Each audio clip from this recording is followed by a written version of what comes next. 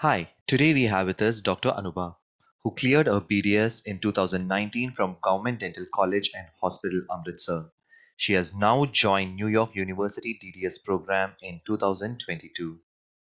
She is here to motivate the young BDS graduates that it is possible to get into a DDS course straight after BDS. She's going to talk about how she improved her resume, she worked on a bench test, and most importantly, how to give the interview in these dental schools. The reason being, she got into four interviews with these dental schools and cleared three of them. I'm Dr. Satish Kumar. This is Kaizen Dental. Our aim here is to help dentists succeed. Hi, Dr. Anubha. It's amazing that you've taken time from your schedule to join us today. I know you're not just doing DDS, you put your hand into a lot of things and are trying to expand your horizons. So it is amazing that you've taken time and joining us today. Thank you so much for having me. Okay, it's, so it's my a nice, nice uh, opportunity for people to know, you know, what options uh, there are after graduating, and I'm happy to be a part of it. great. Uh, so you're among the rare few who straight after BDS got into DDS with no experience as such working in a private practice or doing any masters, having a lot of gap in between. Because a lot of people have this opinion that you have to have some experience after BDS if you want to go into DDS. So how did you do it in the first attempt itself? Okay, so I feel what universities actually are uh, looking at is your overall profile.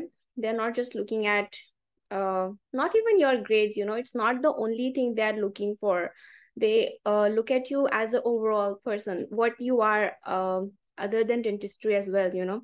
So uh, whatever resources you have, whatever uh, you have done, you have to present yourself in a way that they would think that they want this candidate. You have to convince them that you will be a good candidate for them right?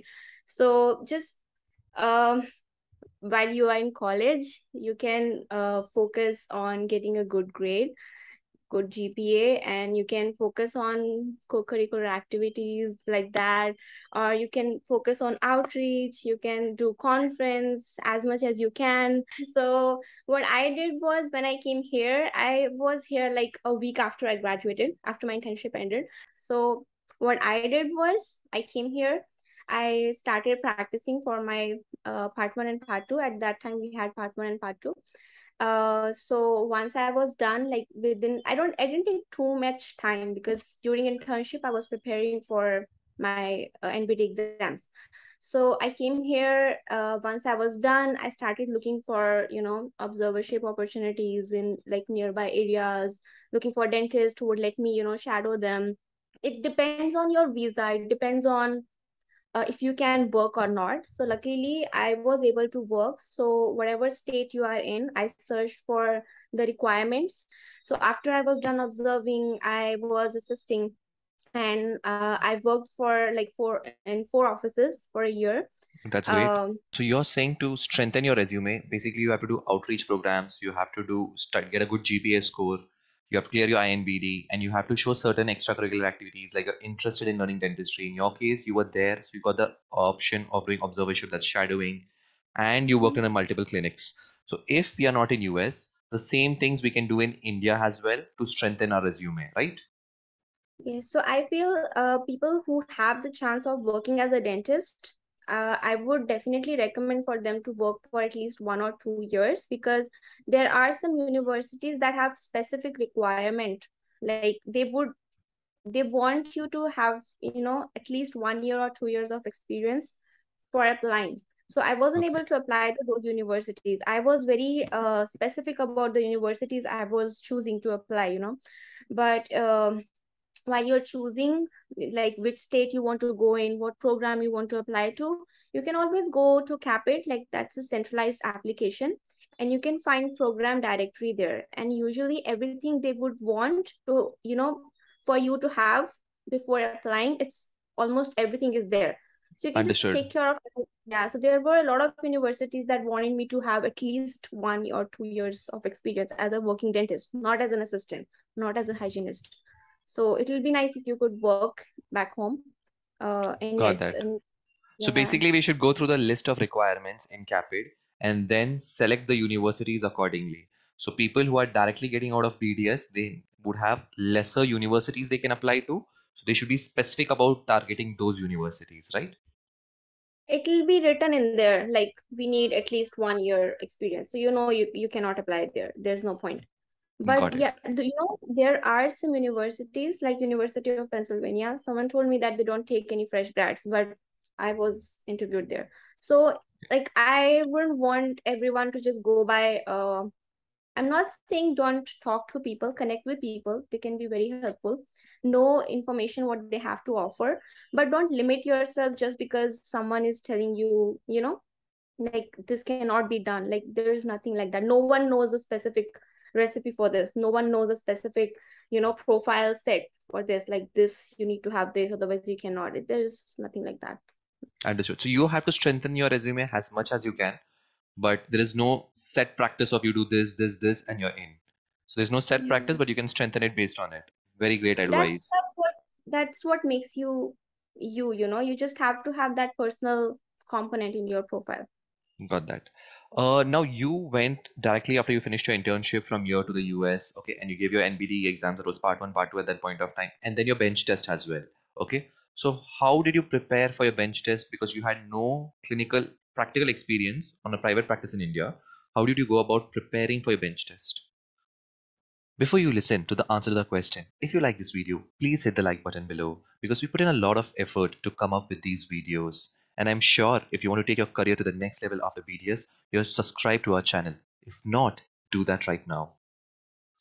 So first of all, I, I graduated from GDC. I had like very good clinical exposure. I've had great mentors, but uh, but there were some things that we just don't do back home, you know.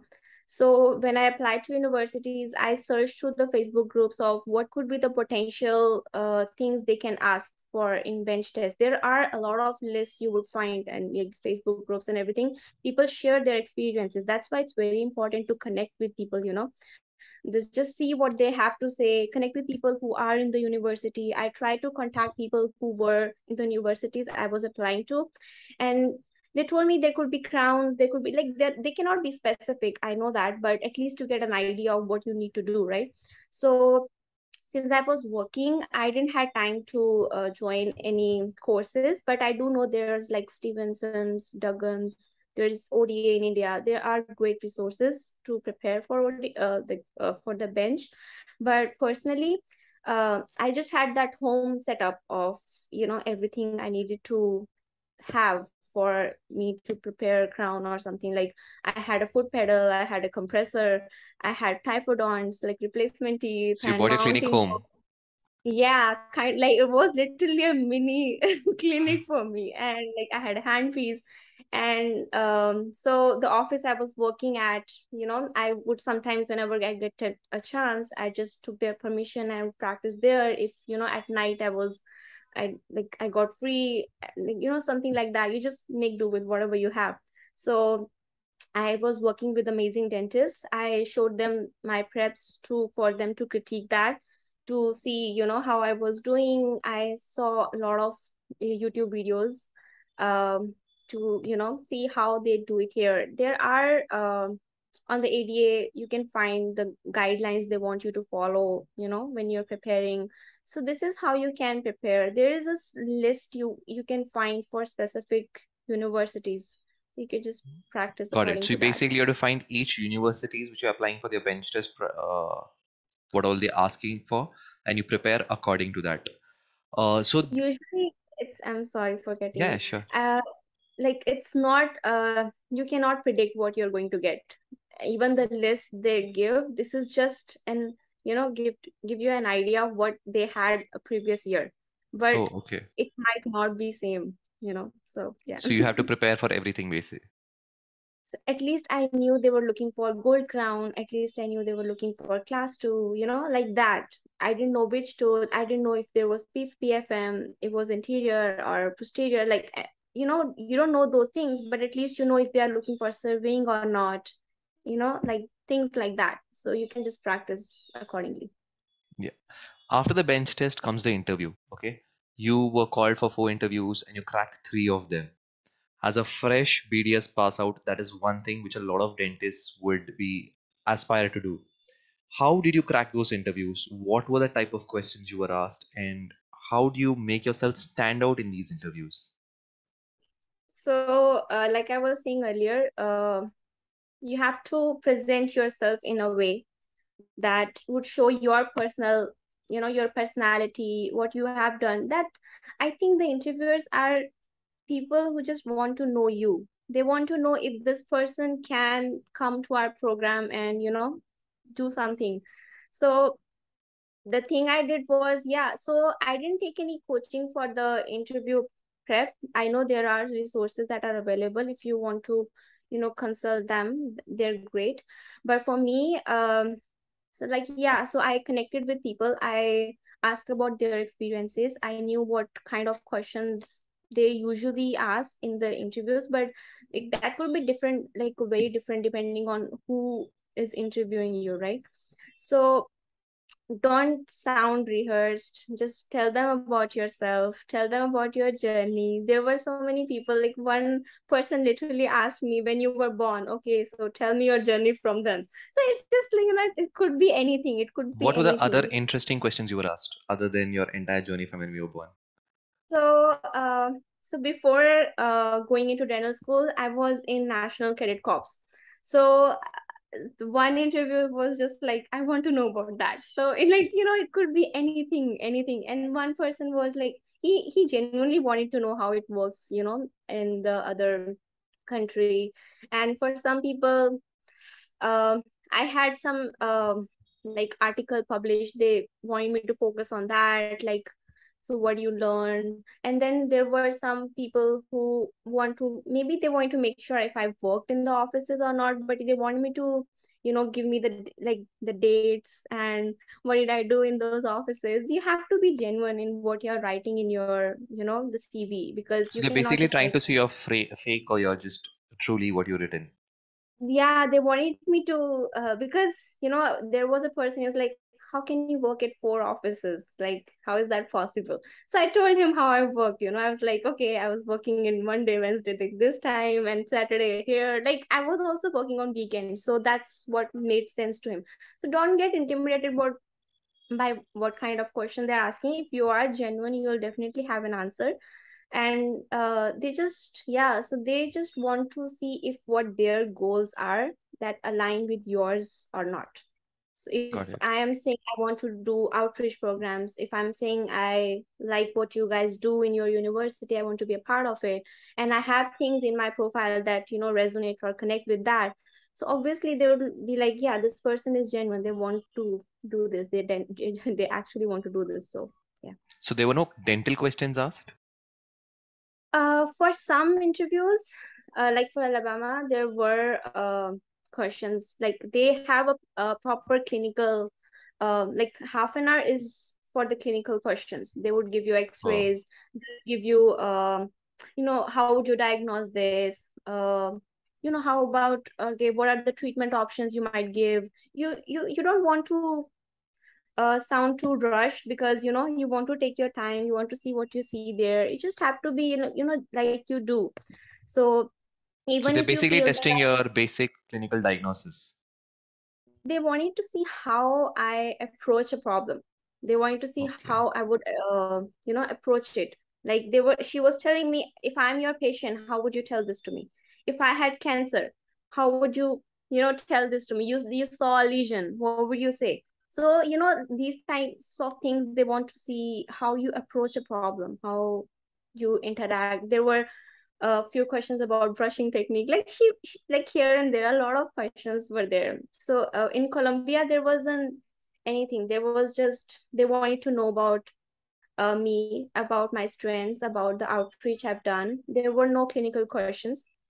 For nyu uh, for nyu there were a lot of questions but not clinical. They didn't have bench either. Alabama had bench. Uh so yeah. So for uh, for UPenn, it was they were amazing. Every every faculty is amazing. So they they were also uh, mostly focus on your personal uh, things. You know, like what makes you you. what makes you yeah that's So it's you have to have your unique personality. You should be comfortable portraying it in front of them, and you should not come across as fake. So if your goals and their goals match, then they would basically hire you. Uh, yeah that's very good advice because I've gone through a lot of people who don't tell so much in depth about how to go about an interview. So that's a really good advice out there. Uh, my next question to you is if you had to look back in your journey and advise yourself when you were just starting it out, so there'll be many people who are where you were, say two years, three years ago. What would be your advice to that young intern or a fourth year student who's just graduating? so um in third year or second year go to as much outreach programs you can. Like i had a lot of clinical uh, like community programs as well but i wish i could attend more conferences like that maybe present more posters be involved in more articles you know the research. There are a lot of postgraduate students who are always doing research regarding their thesis so you could all it with them you know. It'll be nice to have your name there for you to have that kind of experience. You know like for me i didn't had any background in research. So if you can get anything there it will be you know very nice. Uh, other than that you could start early with your preparation. I decided when i was in final year that i wanted to come to states. So you if you are sure you can just start connecting with people. It doesn't matter where you are right? Like facebook groups are available anywhere.